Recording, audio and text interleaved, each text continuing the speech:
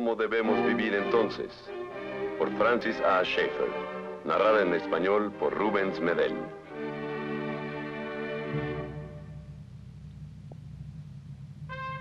Episodio décimo. Últimas alternativas.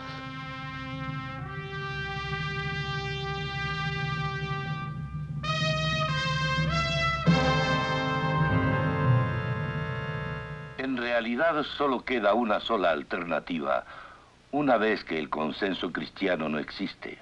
Y esta es que un solo individuo o un grupo sobrevendrán como élite para dar arbitrarios absolutos a la sociedad. No debemos creer que esto sea extremado a nuestro juicio porque muchas personas, muchas clases diferentes de personas han propuesto sugerencias justo en esta dirección.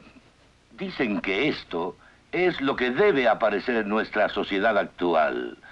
Ah, ahora que el consenso cristiano no existe, un hombre destacado dijo esto hace bastante tiempo.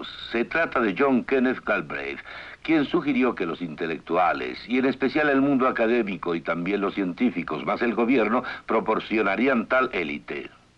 Robert Theobald, en la Segunda Asamblea General de la Sociedad Futura del Mundo, en junio de 1975, dijo, cita, es inútil negar la necesidad de cualquier tipo de élite competente. Fin de la cita. Daniel Bell, que es uno de los grandes pensadores en este momento particular de la historia, ha escrito un libro intitulado eh, La venida de la sociedad postindustrial. En él dice que el gobierno y el comercio se volvieron tan técnicos que los tecnócratas se deben volver una élite para prevalecer.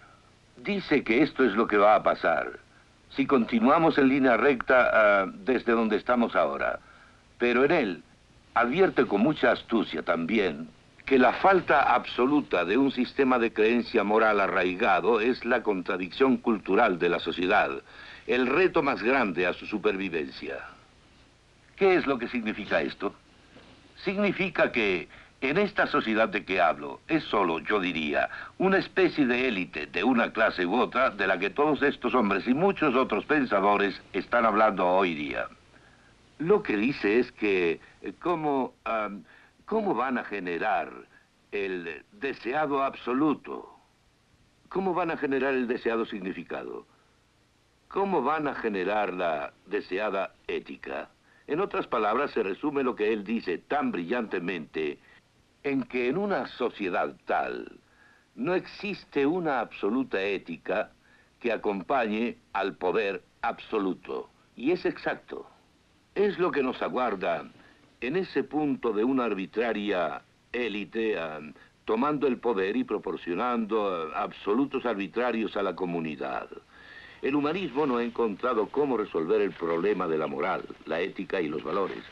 La teoría utópica y romántica de Rousseau condujo a la violencia de la Revolución Francesa y a la guillotina. Cuando empezamos a discutir sobre una élite autoritaria, por favor no crean que es el modelo de Hitler o Stalin, se perdería la imagen por completo. Lo que estamos viendo es algo mucho más sutil. Por lo que ni Hitler ni Stalin podrían ser el modelo nunca, sino que lo más probable es que vaya a ser una manipuladora y autoritaria élite. En verdad, manipuladora y autoritaria élite. En el episodio sexto, como podremos recordar ya al final de él, en lo concerniente a la ciencia, mostramos varias de las sugeridas formas de manipulación que habían sido dadas por varias personas algunas de las cuales ya están en práctica. Hablamos de los informes de prensa, de la sugerencia del doctor Kessler sobre agentes químicos para aislar al hombre de la agresión, la sugerencia del doctor Cranti de emplear anticonceptivos en los abastecimientos de agua del mundo. La sugerencia del doctor Clark de que todos los líderes políticos ingirieran píldoras antiagresivas, la del doctor Lee de que todos los funcionarios públicos deberían someterse a exámenes psicológicos, y desde luego la idea de Skinner de usar fortalecedores para modificar el comportamiento humano. Hay una sugerencia que no tratamos entonces y que en realidad va a ser cada vez más importante en el futuro, y es el problema de la ingeniería genética.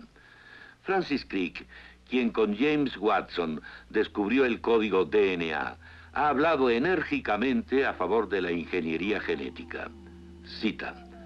Algunos grupos de gente deben decidir que algunas personas deben tener más hijos y otras menos. Hay que decidir quién debe nacer. Fin de la cita. Esto es solo parte de la idea, porque al irlo leyendo cuidadosamente, lo que encuentra uno es el llamado a un grupo de personas, y no lo llama una élite, pero que sin duda va a ser la élite, que determinará qué clase de personas queremos genéticamente en el futuro. Y entonces lo planearán genéticamente para crearlas. Muchos de los descubrimientos técnicos ya se han hecho. Cuando las personas pensaban sin duda que el hombre estaba hecho a la imagen de Dios, existía una buena base para la humanidad. Estoy diciendo humanidad, ya que la persona es un humano. Pero cuando esto desaparece como está desapareciendo con la falta del consenso cristiano, no hay razón, una vez que el hombre es como una máquina y no cualitativamente diferente de las no personas o no hombres. No hay razón para que no los apañemos. Y es más, Francis Crick en este artículo usa el verbo apañar. No hay razón para que no se les apañe genéticamente y no hay razón para no manipularlos y no hay razón para no controlarlos. Y claro, hay que pensar en las posibilidades manipuladoras de la televisión. Tiene sus propias tremendas posibilidades. La violencia se desató otra vez anoche al impedirse una manifestación pacífica de algunos jóvenes en el área del centro por la policía notablemente nerviosa, si no es que demasiado agresiva.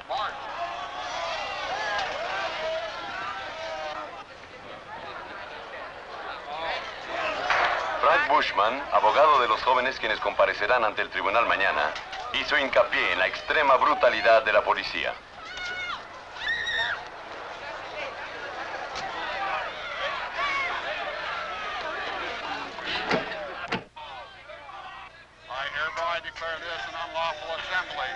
Ayer por la noche surgió un desorden entre un pequeño grupo revoltoso, mientras nuestros guardianes de la paz, silenciosa y eficientemente, a pesar de una extrema provocación, restablecieron el orden.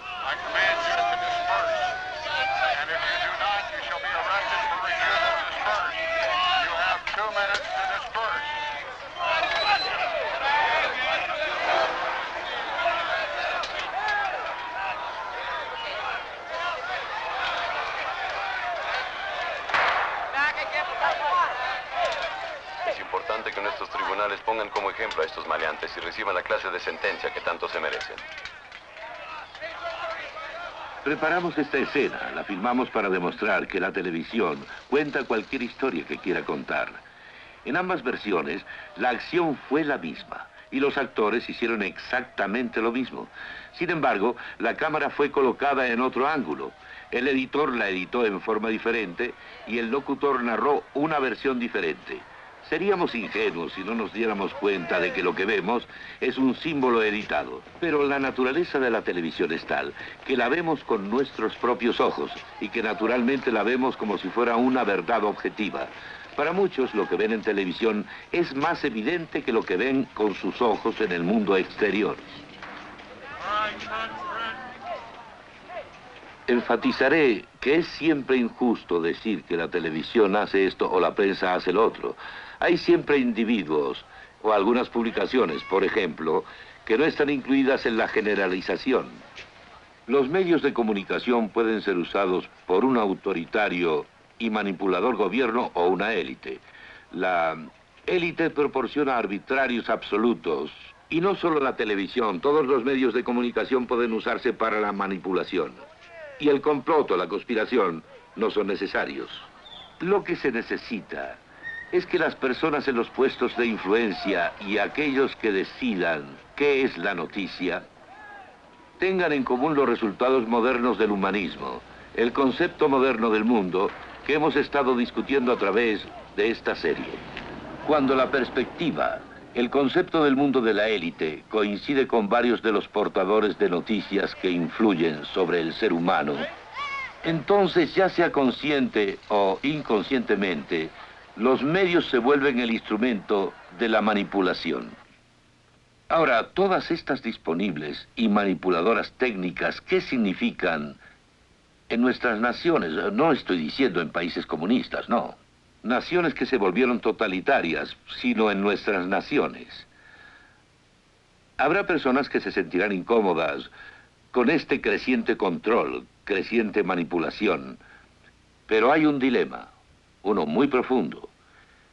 El dilema es que muchas de las personas que abogaron por las libertades civiles también se encuentran sometidas al hecho de que el gobierno tiene la responsabilidad de resolver todos los problemas.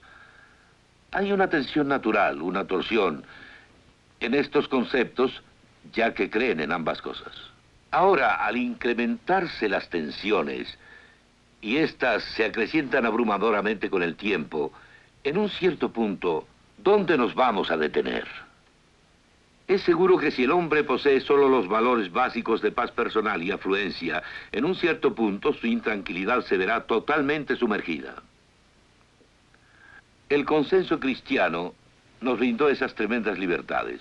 Claro que, como he dicho muchas veces, el mensaje cristiano básico es que un individuo puede estar bien con Dios solo sobre la base uh, de la obra de Cristo en sí. Eso es todo lo que necesita, y el elemento humanista no tiene que ver con ello.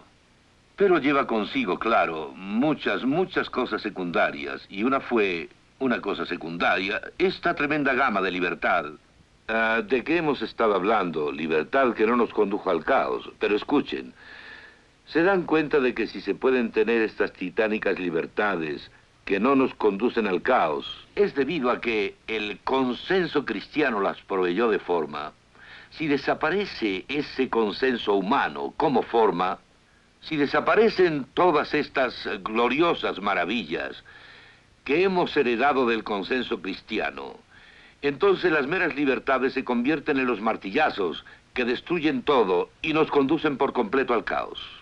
En otras palabras, lo bueno se convierte en lo pobre una vez que el consenso, la forma, ha desaparecido. Bien, eso es exactamente lo que ha ocurrido.